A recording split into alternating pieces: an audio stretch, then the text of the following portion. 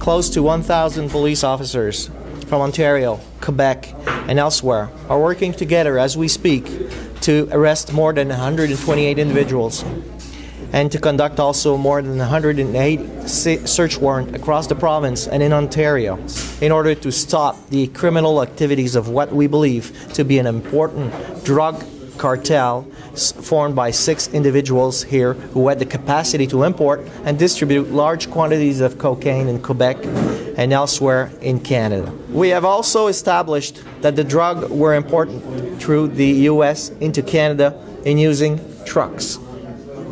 A trucking company is being investigated as we speak, and we are in the process of freezing their assets. It was also determined that a facilitator by the name of Mr. Amgar, Stephen Amgar, was used by the organization to trade with the Mexican cartels.